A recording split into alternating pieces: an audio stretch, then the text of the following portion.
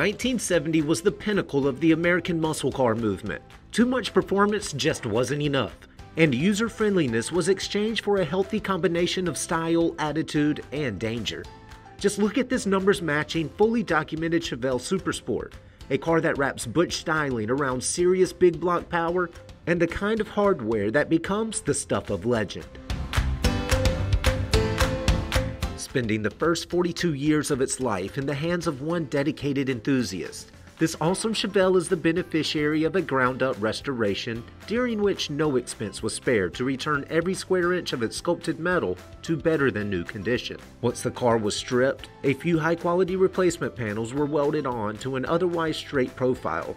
Naturally, that profile was resprayed in correct green mist pigment, which looks especially dynamic under correct Supersport stripes.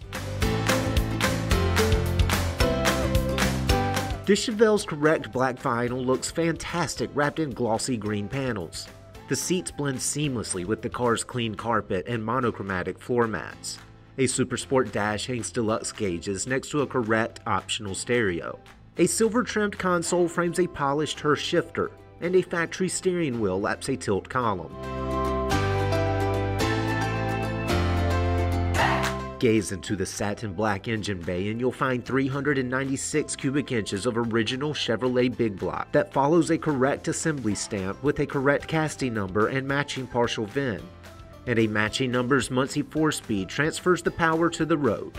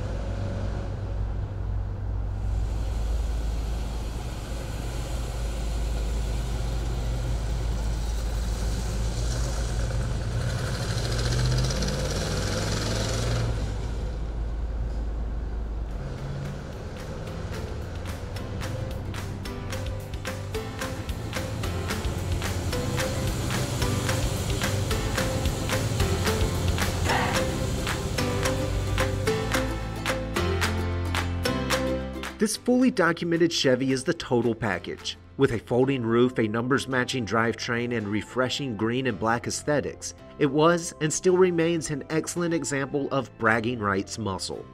For more information, call, click, or visit rkmotors.com.